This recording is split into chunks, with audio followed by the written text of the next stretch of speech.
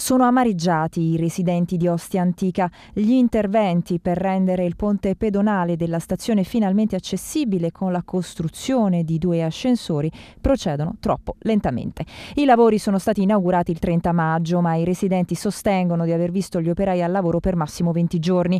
Al momento il cantiere è fermo e dato che sono state scavate delle grosse buche sull'asfalto, in questi giorni di pioggia è anche soggetto ad allagamenti soprattutto nei periodi delle prime piogge di settembre si è allagato questo cantiere. In più si vede come dire anche la presenza di un certo abbandono, quindi le buche che sono state scavate si sono riempite di rifiuti. È stato chiesto in consiglio municipale una risposta alla direzione tecnica del decimo municipio, una lettera al presidente Falconi e la direzione tecnica ha risposto con l'ingegnere che è responsabile di quell'area e ci hanno detto che i lavori quantomeno per la chiusura del cantiere, quindi le recinzioni che dovevano essere fatte sui due lati di via della stazione vecchia dovevano essere chiusi entro l'11 settembre. Questo oggettivamente c'è perché dietro le spalle mie c'è un cantiere.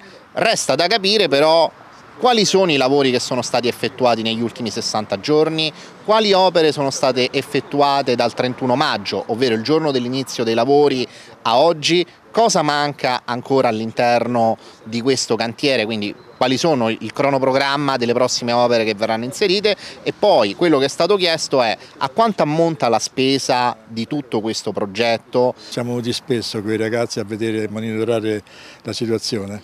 Praticamente abbiamo trovato tutti i giorni il cantiere è vuoto. Noi abbiamo fatto un calcolo che da maggio un po' fino a settembre si hanno lavorato 20 giorni e tanto. Ultimamente ha piovuto e si sono, si sono allagate le piscine. Secondo le previsioni che hanno fatto loro, dicembre 2024 si, secondo me non si farà mai.